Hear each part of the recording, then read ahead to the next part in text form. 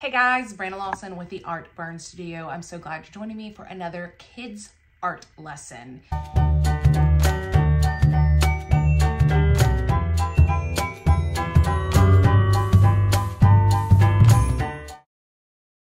Today we are drawing or painting or coloring however you would like to bring it to life a zebra. Okay, so step one for me as an artist is once I see an idea, on the internet. And sometimes these things that I'm creating, I'm not using for money. So I try not to copy it directly, but I do try to use it as inspiration to create my own. So I always go to my sketchbook. That's the first place that I doodle and draw it and add the color. So then I know what colors of paint, colored pencils, markers that I need to have out and ready for my supplies. One material that I'm falling in love with that I always like are alcohol ink markers. These are a great thing to have at home. These, I guess, I got from Five and Below. So these were only $5 and there's a pack of 21. They are pretty good. Um, you can buy them off Amazon and buy them in much, much bigger um, amount. I think they can come up to like 180 colors. And as you can see, sometimes too many colors can be a problem. So you might want to start off slow. But these are great tools to add to your art supplies because you can layer these colors and you really don't see the lines. They blend very well if you can see um, on my sketchbook. So go grab your art supplies. Let's get started on the Z. Let's talk about the supplies in my pencil pouch. Pencils, mechanical pencils, crayons, colored pencils, and markers are all great tools to use during our draw alongs.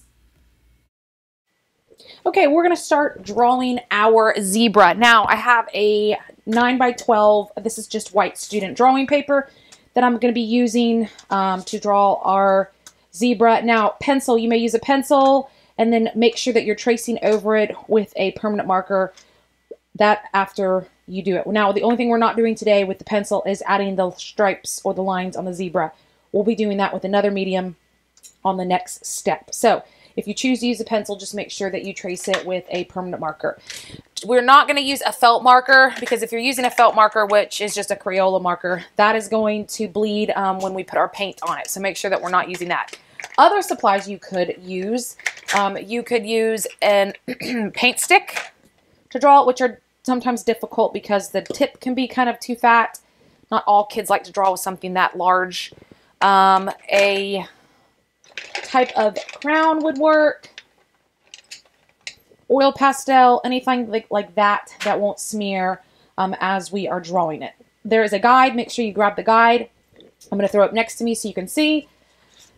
Let's go ahead and get our paper. Now, there's always a technique to help you find the middle. So if you take the paper vertically, take the top, fold those two short ends to meet up, crease it, and open it up. That's going to help you find the middle, which is about where we're going to start with our nose of the zebra. So you can see, I know you may not see, but that fold is right there. I'm going to get my drawing tool. Now the nose is going to be farther on the right of the paper and kind of right where that fold is, I'm just going to draw a straight line. Now, again, it's there's room over here on the edge. There's a lot of room on the left side. Now, once we draw the straight line, we're going to add a half circle. Coming off this left corner, we're going to do a diagonal line. Again, this diagonal line is the neck or the face part of our zebra. And again, it's not very long. We're going to the other corner. This is where we're going to curve up and around. This is the side of the face, and we're going to move. Notice it's curving and then we're going to put a one bump for one ear. Now, the middle between the two ears, again, it's kind of a diagonal because his head's turned and it's short. Another bump for another ear. We're not connecting these lines yet. That's not what we're doing. Now, this point of this ear, we're going to curve all the way down to the bottom. But be aware you want to make sure there's room on the side for the mane of your zebra. So this line we're about to do, we do want to have room on the left side. So starting out the ear, I'm just going to curve to the bottom of your paper. Make sure it goes all the way to the bottom. Now we're going to come over here under this diagonal line, kind of where those two meet, and then we're going to curve this line right underneath the nose all the way to the side of the paper. This is the zebra's other side of the body. Again, it goes right underneath the nose. It's not farther down here. It's much closer to the nose. Okay, for his mane, coming out between the ears, we're going to do a straight line past the ears. And then again, follow that curve, and we're going to meet it down here where this line is. So they should touch at the bottom right there. So that is your general horse zebra shape. So we're going to add a few details, which will be the nostrils, and we are going to color those in with our black marker. So if you're using a pencil, just make sure you go over that. Coming down the middle. So where this mane starts right here, we're going to draw a line all the way down to hits the nose. And I'm just going to make it two times as thick. Either sides, we're going to add the eyes, a U with some eyelashes. Inside the ear, we're going to do the ear shape. So it's a straight line across. Don't touch the sides yet. And then a half circle. Straight line. Half circle. Okay, so again, if you've done this with pencil, do not forget to outline it with your black marker before we move on to the next step. So that is step one, is drawing your zebra body. Again, we don't have the stripes. We're going to be adding that with a different medium. Make sure that your permanent marker is closed. Put that away, and we're going to be moving on to step two. Step two, I have a piece of cardboard. This is what we're going to use to create those lines in the zebra. Um, you may have to hit two depending on the size of it. Like this is a good size for my paper. Now, I got to be careful as I move up the neck. I don't want to go all the way the longer side.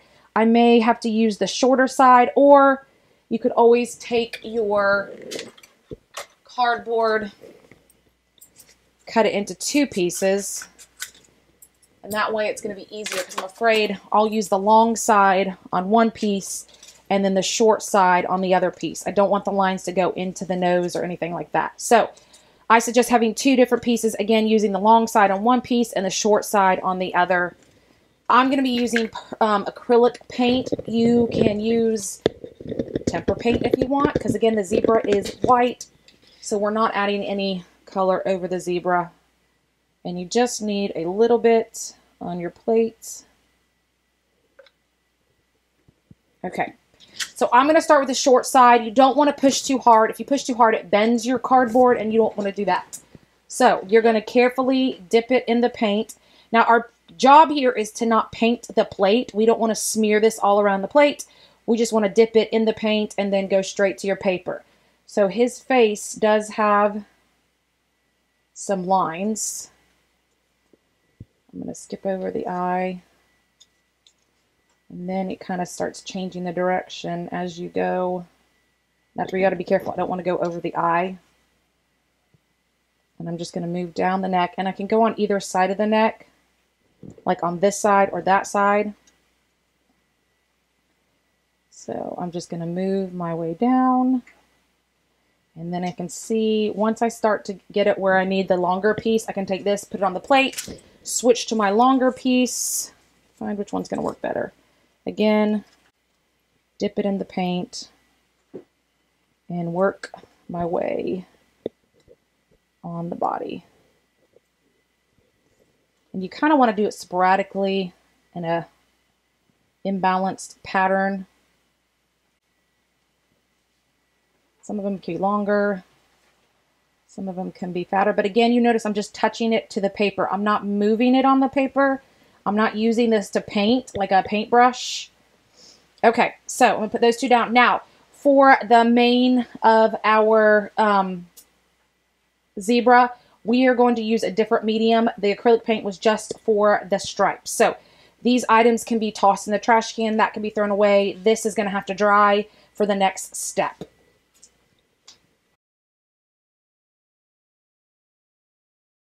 Okay, once this layer has dried, we're to move on to our details, which are the inside of the ears, the nose, the hair, and the background. So you can choose to do this at different times or do it all together. I'm going to be using Sargent Art and Blick Liquid Watercolors. I love them because they come in individual packages, which means you can limit um, the colors that are out. So that way, if this is a younger group, if you just wanted them to do the pink, um, which is the nose and the ears, you would just have that open. Um, I use the condiment cups to distribute it or to have it out. So that is what we're going to get ready here. And then I have red, green as my background. Again, choose whatever color and then black. So I'm just going to get that really ready real quick. And then we're going to jump into the next part.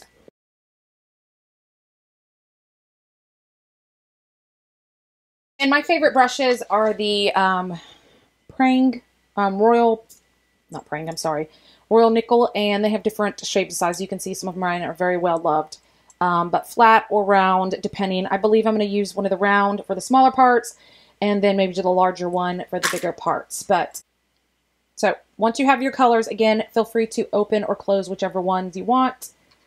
And I've diluted this red because I didn't want a red. I wanted a pink. And this is why we use a permanent marker because we can paint right over it and it won't mess it up. So the nose and the inside of the ears, we're going to use with this color. I also make sure there's water available and um, you got to be careful because we always want to start with the lighter color first because you don't want the kids to mix up the watercolors. So usually I would only open what I use and then close it. Especially if you have a green and a brown, it's going to look very similar. So I would only open the next color. And my the one trick I've noticed is when kids pick it up, they end up dripping everywhere. So you may want to tell them to give it a minute as they pick up their brush to let that drip and maybe shake it off right over the cup before they go straight into the paper because it will drip if they're not careful. And yes, it's a little bit of a gray. That's just because I diluted it some. Okay, so to make sure that all my hair is done, put my brush in the water, make sure I close up the black before opening my background color. Now you do want to give it a few minutes before you move to the next color because this is wet, wet next to a wet. So if you want to stop here and then move on to put this on drying rack, move on to the next step the next time. That way, if you have little ones, it doesn't mess up the background. So that's up to you. Again, I'm using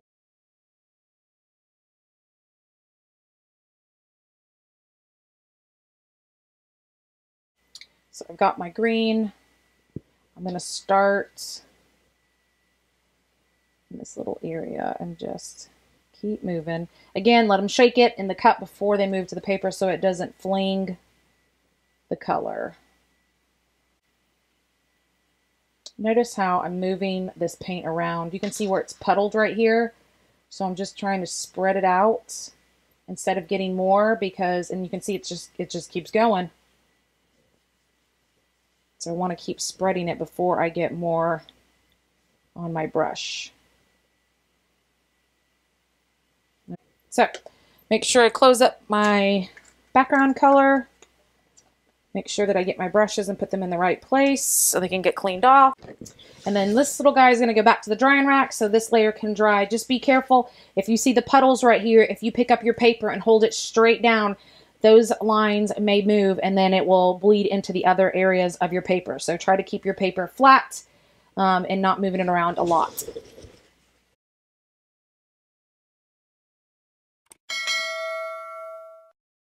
All right, guys, thank you for joining me for this kids art lesson. I hope you were able to create your own zebra using your own materials, and I can't wait for you to join me for another kids art lesson.